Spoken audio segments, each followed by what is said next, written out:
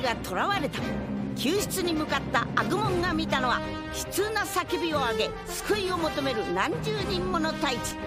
一体本物は誰なのか刻一刻と太一に迫る最後の時。悪グモンは本物の太一を見極め無事助け出すことができるのか。次回「デジモンアドベンチャー。破滅からのコンタクト」冒険は新た